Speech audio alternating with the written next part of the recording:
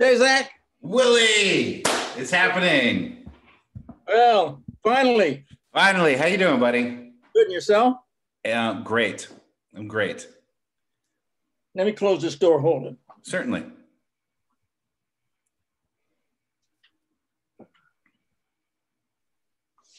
All right. What you been up to?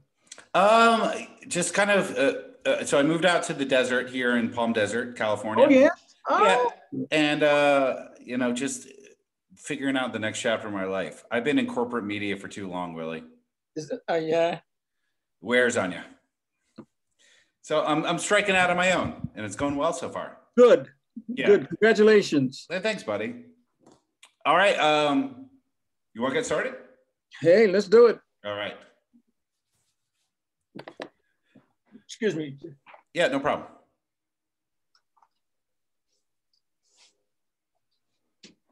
All right. I just had to get my wife her glasses. Okay. Let's make sure my mic levels are good. Okay. Uh, so quite a background there, by the way. Oh yeah. Yeah. A little bit of Bruin stuff. Yeah. Willie O'Ree, uh, one thing that I found fascinating is that you played for the Bruins in 1958. Yes. Two games. First, first black NHL player of all time. Yes. You beat the Red Sox by a year. A whole year. Oh. How how insane is that? Pumpsie Russell was the or Yeah. Pumpsie Green was the the first player to ever play for the Red Sox. Um, you- you- how surprising is it to you to learn that that you were a, a black hockey player in Boston before they had a black baseball player? Yeah, well, well, you know, when I uh, when I turned pro with the Quebec Aces in, in, in 1956, they had a working agreement with uh, with the Bruins, and um, I went to the Bruins training camp in uh, '57 and in 1958. You know, and um, I really felt great about you know going to an NHL training camp. Um, when they um, in 1958, uh, they, you know they called me up to play two games against the Montreal Canadiens and uh, January the 18th was a Saturday uh, in Montreal. I played my first NHL game. I had played against the Montreal Canadiens in exhibition games, but this was a regular scheduled NHL game. Right. Um, we were very fortunate. We beat Canadiens uh, three nothing. We shut them out. It was a Saturday night. Uh, it was just a, a feat in itself. And then, uh, you know, we went to Boston on Sunday, and uh, the Canadiens beat us.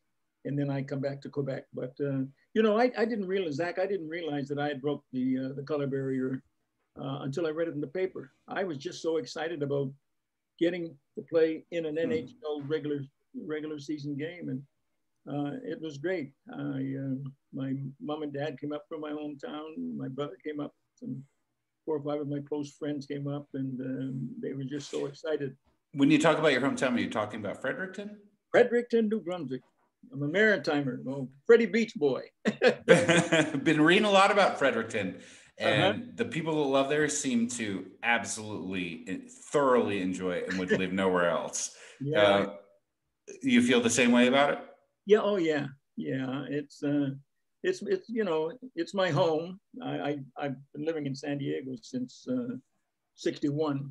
You know, six years in Los Angeles. And then I came to San Diego in, uh, San or La Mesa in '67 and played eight years with the um, the pro team there. But yeah, when they talk about home, home, talk about Fredericton. Yeah. Yeah. And growing up in Fredericton, um, you know, you, you mentioned you didn't know you, know you bl- broke the color barrier. Did you have any? Did it feel? Because it's a strange thing. It's like you know, there's a, a young person of color playing hockey, but then it's like also, but it also makes sense. It was also a kid growing up in Fredericton, of course, going to play hockey.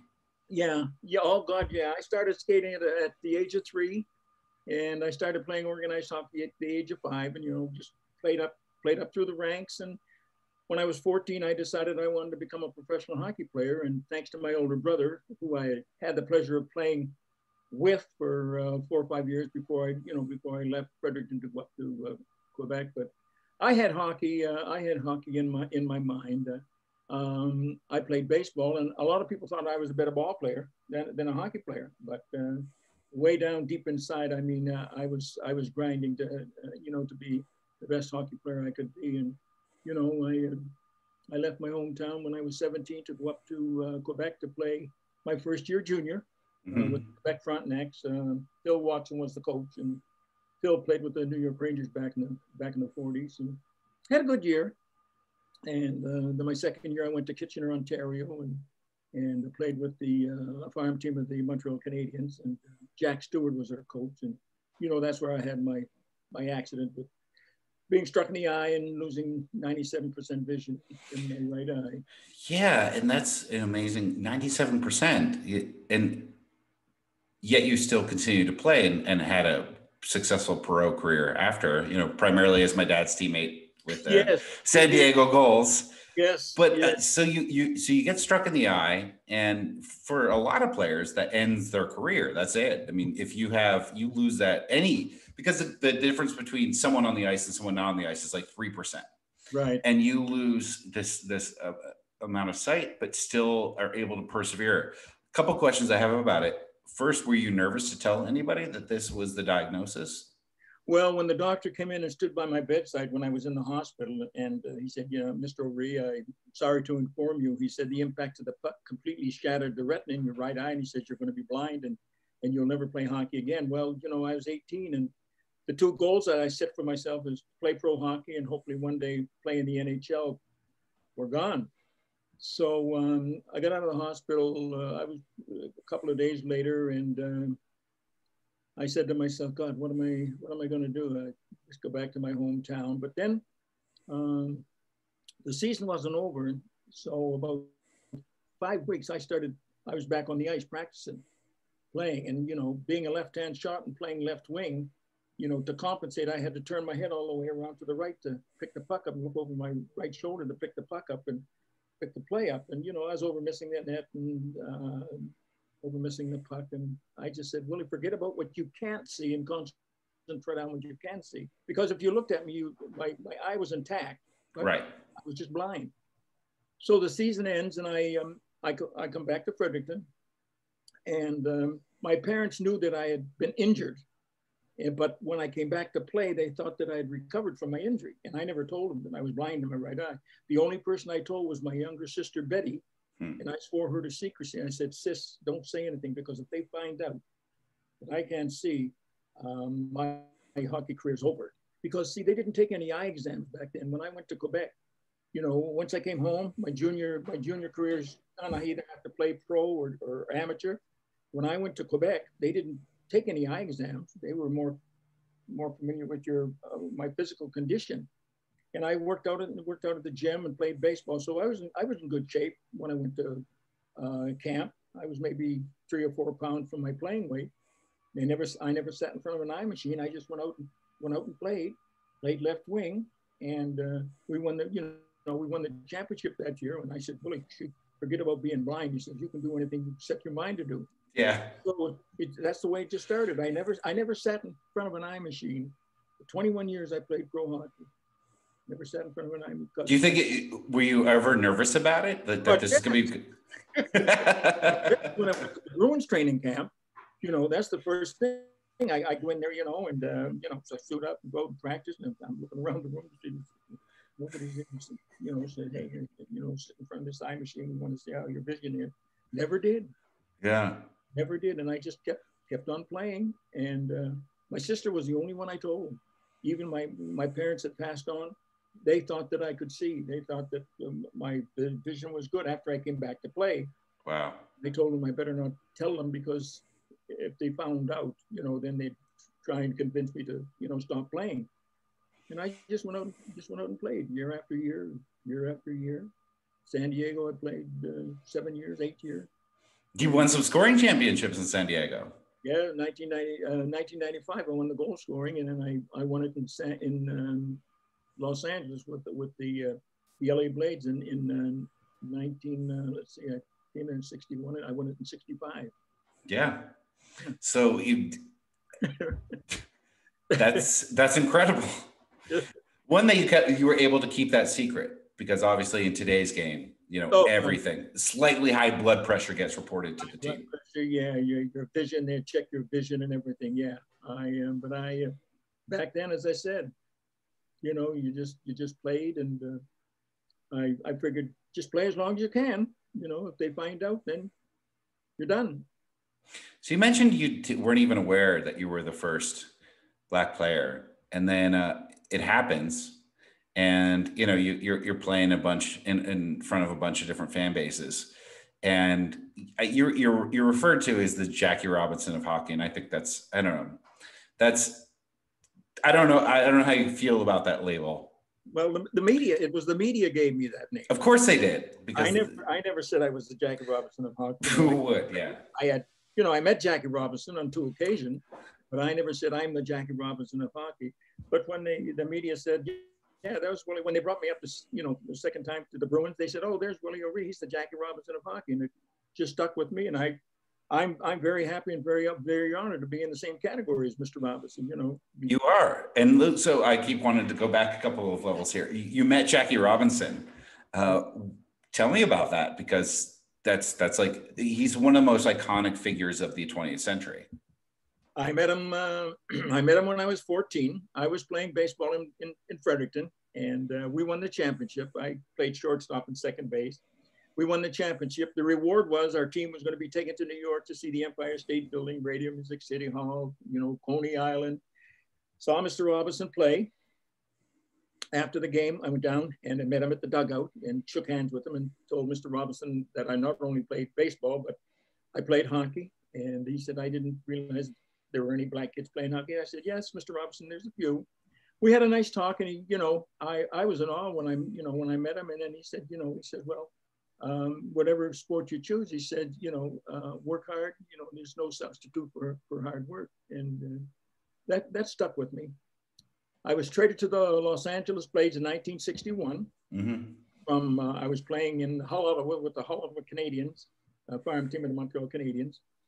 Came to Los Angeles. In 1962, the NAACP had a luncheon for Mr. Robinson in one of the local hotels or restaurants in, in North Hollywood. I received an invitation through the, uh, through the hockey club. And I went with uh, the coach, uh, two other players and myself, went to the restaurant. Mr. Robinson was standing, giving him media, and we just stood offside waiting for him to finish. When he did, the coach come over and said, Mr. Robinson, I'd like to introduce you to three of the local players here, especially Willie O'Ree, who was newly acquired from the uh, Hull Canadiens in the Eastern League. And um, I turned to Mr. Robinson and looked him in the eye, and he, he said, Willie O'Ree, he says, aren't you the young fellow I, I met in Brooklyn? Oh, wow. And I met him in 1949, and now I meet him again in 1962. And I, I mean, uh, Zak, it was just, I was in awe that yeah. he remembered me of the millions of people had admit over the years, he, you know, he singled me out and remembered me. And, he's, and he said, oh yeah, it looks like you're, you're playing hockey now. And I, I just stood there and a big grin on my, my face, shook hands with him. So yeah, that, that's the two times I had the pleasure of meeting Mr. Robinson.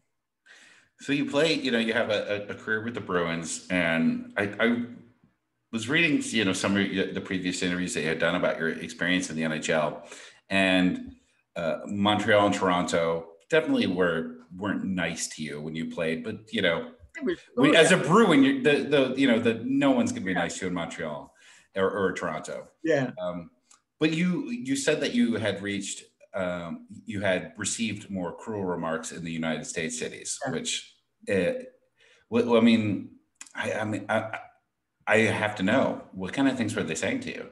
Oh, racial remarks. You know, yeah. not only from the players on the opposition, but fans in the stands. And mm. I knew this was going to happen. You know, my brother, my brother warned me. He said, Willie, he says, you know, he says if you if you turn professional, he says you're you're going to be uh, you're going to be called names. And uh, I know that you're the type of hockey player that um, it's not going to bother you. You just let it go in one ear and out the other. And he said, if people can't accept you for the individual that you are because you have the skills and the ability to play in the league, you know, at this time, he said, forget about it. It's that, that's their problem, not yours. And, you know, I went and played and I really, I, I really didn't let it bother me. You know, I, I fought a lot when I first went up. You know, I fought because I had to. Guys wanted to see what I was made of. And, you know, if they didn't drop their stick, I fought with stick. If they dropped their dropped their stick, I dropped mine. We fought, and you know, won some, lost some. But I wasn't going to be run out of the league because of you know racial remarks and racial slurs. And it got a little easier, but it took a long time. And I finally gained the respect of not only the fans in the stands, but players on the opposition. And how about players on your own team? Were they one they were going to stick up for you, or very supportive? Yeah, all all the teams. I I I can't tell you one time that you know that I have any any faults about any of the players that I you know that I played with. They were all very supportive and they watched my back, and you know uh, that that made me feel good. And I you know I could score goals and Mm, you know they said hey this guy's a pretty good player. He said we you know keep him keep him around. I have to ask because you you're I talked to some of my dad's former teammates but you're you're a special instance. You played with him before he was Broad Street Bully, and I think at that point he he was a bit humbled because he was playing amongst NHL greats and for a cup team. But you played with him at the San Diego Gulls. He was probably cocky as all hell. I bet. I think he had a Corvette at that time, yeah. um, a full head of hair. Yeah. Uh, what you know this is this is where it gets personal for me what tell me about my experience your experience with my dad i i was uh, you know when i i i knew i know of him you know as a hockey you know a hockey player and um, I, I had seen him play watched him play and when he you know when he came to san diego i mean uh, here's here's here's the guy here that's going to uh, you know help us win hockey game mm-hmm. and he did um, you just you just you had to like him really uh, it was just that type of he was just that type of an individual. And as far as uh, you, you, know his ability, shoot, uh, you know from there he went up. You know he went up with uh, Philadelphia. Mm-hmm.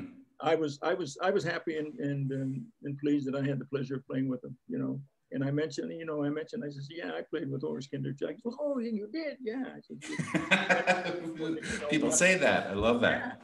Yeah. And um, so, yeah, uh, he's uh, he's always um, he's always been a the type of hockey player that you know you had to like. You know, uh, if you didn't like him, you there was something wrong with you. That's what I seem to think. Yeah. One of the one of the things about your you know your your debut as as a hockey player in in Boston is that well you know with Jackie Robinson a couple years later pretty much everybody has has a, a, you know a black player on their team Boston again, ironically being the last. Yeah. Um, it took a while for the NHL. I think you you debuted in '58, and Mike Marson finally gets uh, drafted in 1974. right. Um, was that something that you were following? Like, okay, hopefully there's another one, or was it like, you well, know, I, knew, I am Willie, and this was my career, and you know, whatever I knew comes there were going to be other black players or players of color after me because uh, I I saw kids that were playing junior.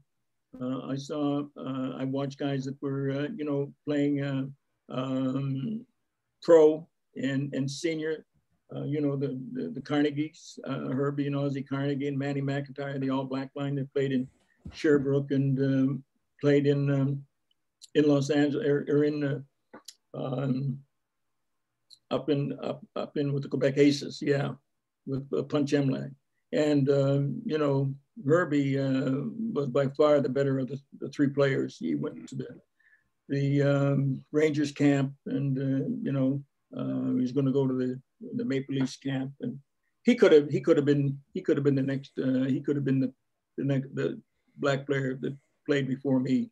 He had the skills and the ability, uh, but it just it just didn't happen. And then as you mentioned, Mike Marson came up, and uh, and played for with Washington and then uh, Los Angeles. And then now there's there's a lot, you know, there's a lot of kids, uh, kids of color and black players that are, that are coming up. And then look at the ones that are playing in the league at, the, at this time. Right.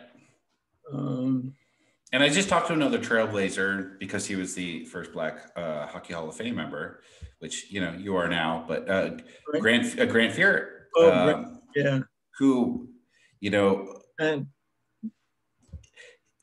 is a Hall of Fame goaltender, but overcame a lot more than I ever realized he ever did. And um, was that was that some uh, something someone that you kept in contact with? Was like I what I'm what I'm curious about is you knew that you you had to know that you were a, a pioneer mm-hmm. and to see uh, other things that you you know trailblaze for how much did you keep in like keep in keep tabs on those sort of players in their careers well w- with grant you know when i when i came with the nhl in, in 1996 um, and i had the willie o'ree all-star weekend for kids um, that were selected from the programs they'd bring them into a, a host city and you know uh, treat them like uh, NHL players. And uh, um, then Grant would Grant would come as, as a special guest and, and you know talk to the Goldies. And I had met him on several occasions. And then you know guys like Jarome Iginla and mm-hmm. players that that I met. And you know the the nice thing that I remember about um, Jarome is the first time I met him. You know, he says, Mr. O'Ree says, I can't imagine, you know, what you had to go through to make it possible for players like me to play in the NHL. And he says, I, I have the, the highest respect and the highest admiration for you for, for what you did and, um, and what you uh, accomplished and, and uh, your true form of what you wanted, uh, what you wanted to do. Yeah. And when you, when you hear that from, you know, guys that are playing and then making millions of dollars, yeah. that, that's the truth. you. And yeah. I mean, I've heard, I've heard, this from a lot of the black players and a lot of the players of color that are in the league. I met I met uh, a lot of them, and they they told me the same thing. You know, um, and it's nice to hear. You know, Kevin Weekes and uh, you know some of these other players that that played now that um, you know they're they're working uh, working in jobs and. And you're now involved in a program that helps, you know, players of colors not, I mean, obviously you can't just prep players to go to the NHL, but get the, the similar opportunities that they right. hadn't had before. And, you know, how, how successful do you think that, that that's been? Uh, it's been traditionally, you know, a very, very white sport, and you can sort of, when you look at the sport, you can kind of understand why the origins. I mean, it's it's Canada and it's uh, Western Europe, predominantly white countries, and then to try to introduce it to especially a, like a black community um, how difficult has that been to to you know try to explain this is a great game and you should play it well you know first of all hockey is a very unique sport. Mm-hmm. and, uh, it's on ice. Exactly. Yeah. but you can go into a you know a gym and you know you can dribble a basketball you can uh, throw a football baseball kick a soccer ball. But in order to play hockey you need to get on the ice to develop your skills. There's no, uh, there's no other way. Street hockey's great, you know, roller hockey's great, but in order to play ice hockey, you need to get on the ice to develop your develop your skills. And you know, when I first started with the uh, with the NHL, it was called the NHL's diversity program. Diverse is meant just bringing in kids from all from all all colors, uh, all ages, to to play the sport. And now it's called uh, Hockey is for Everyone. But when I first started, there were uh, five programs throughout North America. Now we've got uh, we've got probably close to 40 throughout North America. It's kids now that uh, that are playing uh, in organized uh, in an organized uh, program, and you know we're helping kids. Um, you know just basic fundals of learning the basic fundals of the game, stick handling and passing, keeping your head up, and things like this and some of them that don't have the, I think it's about 100, 150 dollars a year, you know, for the programs. And if if they if they can't afford it, we'll we'll make it affordable for them. We'll make sure that any boy that girl that wants to play hockey, we'll make it happen for them. Long they stay in school, and, you know, keep their grades up. And it's been great, really. I I wouldn't have stayed with them for going on 24 years if it if it hadn't been a good program. You know, and you have to thank, you know, Commissioner Bettman and um, all and all those that were involved in the programs back then and then now it's just it's growing. It really is. It, it really is. Kids are watching it um, uh, on television and they're getting to the rinks now and being able to practice and play. And hockey's a fun sport. If you're not having fun don't play it. Pick another sport you know? It's the best sport. It is. For me it's just for me it's the best sport when it comes to hockey, you know, I played baseball, I played I played soccer, and you know, basketball, and I played rugby in high school, and you know, but uh, comes to ice hockey, I, I, tell you, there's just something about the sport, getting on the ice and, and being able to do the things you can do on the ice. We're speaking the day after the playoffs, or two days after the playoffs just started, and the first three games for the first time in NHL history all went to overtime.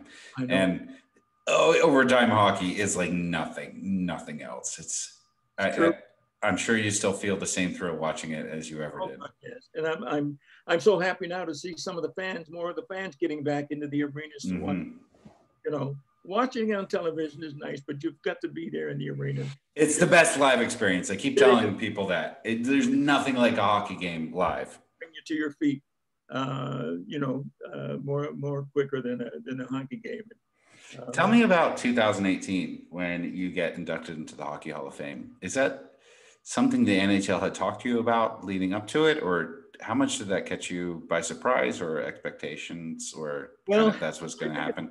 it all started, uh, you know, back in my hometown, there was a couple there uh, by the name of Brenda and David Sampson. And um, they, um, there's a, um, a sports writer by the name of Bill Hunt uh, that writes, writes for the Daily Gleaner. And apparently um, they were saying why uh, I thought Willie O'Ree was in the Hall of Fame you know, for, you know, breaking the color barrier and, you know, being the first black player and so on and so forth. And he said, gosh, he says he should be in the Hall of Fame. So that's how it all started. And then they got together with Brian McBride, who was the, uh, the vice president of the uh, Hockey's for One program. And they said, God, we've, we've got to see that he gets into the Hall of Fame. He deserves to get in the Hall of Fame. And now they, so they started writing letters, making phone calls, and all of then the submission and it all got, and all of a sudden, you know, they um, they say it's going to happen. Willie O'Ree get into the Hall of Fame, and the day I'm I'm here in my home, I'm in uh, I'm in my uh, um, kitchen and uh, dining room with my wife. Uh, Brian Mc, Brian McBride's there, and uh, I got the call saying um, you'll get a call between 12 noon and 3 p.m. if you're gonna if you're gonna get into the hall. You'll get a call during that time.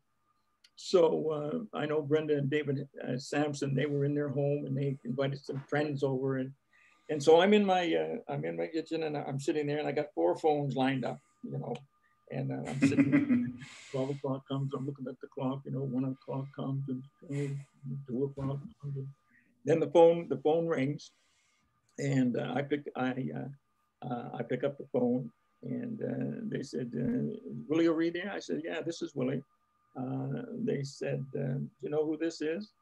And uh, I says, "No." He says, "It's it's the Hall of Fame calling," and um, we just wanted to just wanted to let you know um, that you that you're going to be inducted into the Hall of Fame. Well, then wow. I, you know, I, I Brian, Brian, Brian McBride was there, you know, and, and it, it was just great to, to hear. Uh, unbelievable you know, um, I mean, I was, I was in tears and I was overjoyed and uh, overwhelmed. And um, it was just such a, such a wonderful feeling. Yeah.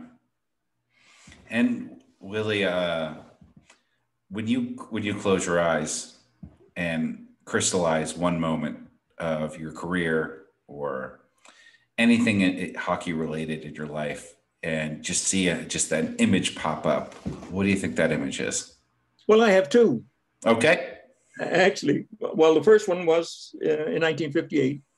Uh, you know, when I was called up and stepped on the uh, the ice in the, the old Montreal Forum and became the first black player to play in the NHL.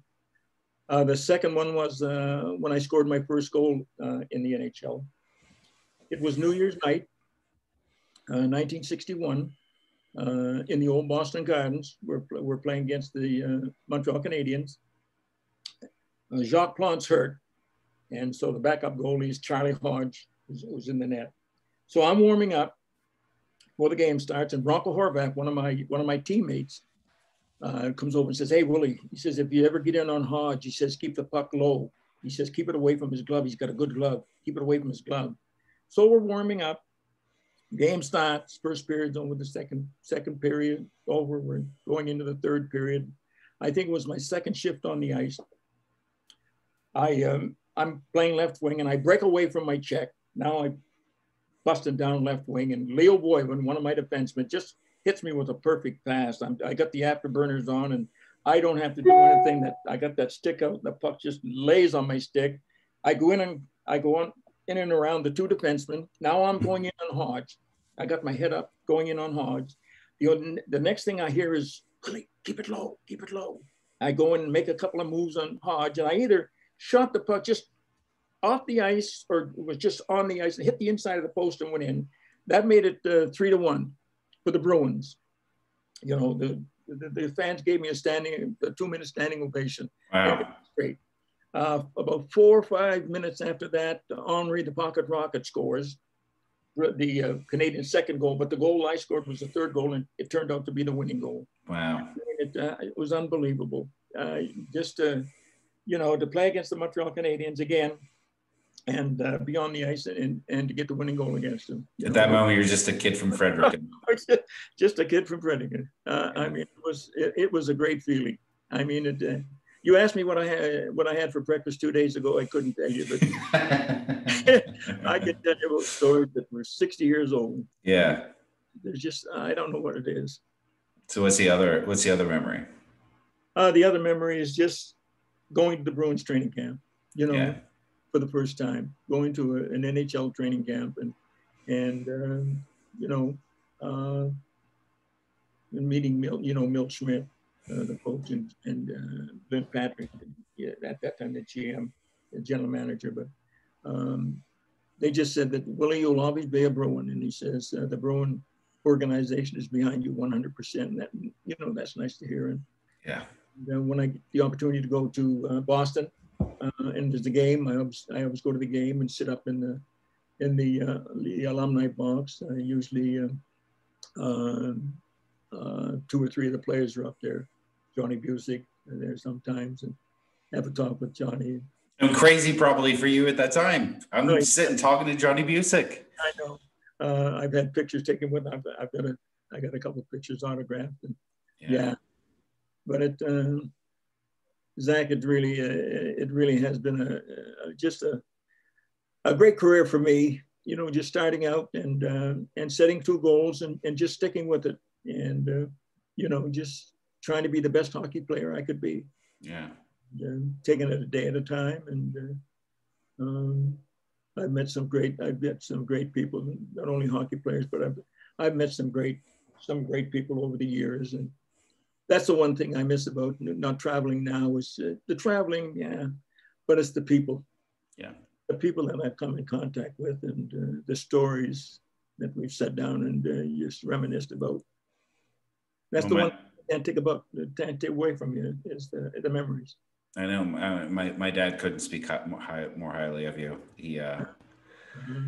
yeah. And Willie, this has been great. I mean, I'm talking to, it's such an integral part of, of hockey history and it's been a, an absolute honor. And um, thank you. Glad we finally yes. made it happen. And, uh, and you're in San Diego. You're going to have a great day. Yeah we're you just know, a throw away, Zak. Honestly, you know. Truly, truly, we're really close to each other. Yeah. Yeah.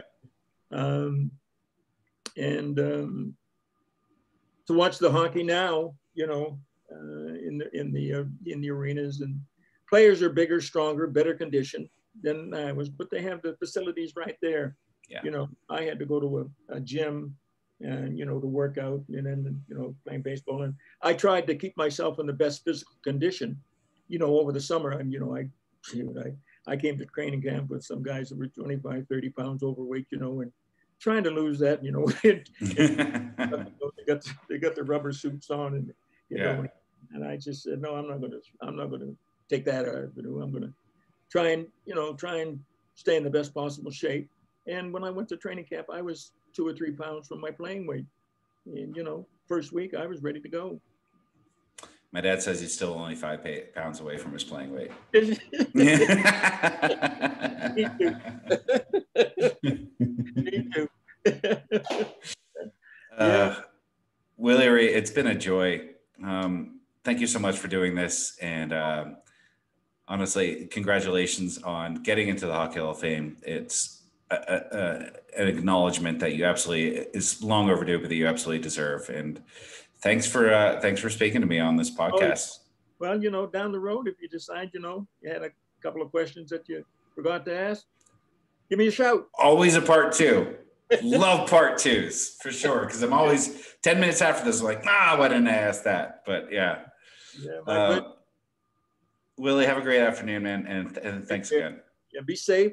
Stay well with this, you know, coronavirus uh, thing that's going on. Second vaccination in two weeks. Yeah, I am. I, yeah. I had my too. My wife's had her, her second one. So yeah, we're, yeah. we're in good shape. All right. Thanks, man. You're Have welcome. a great afternoon. I'll talk to you again soon, hopefully. Yeah, you take care, Zak. See you. Stay well.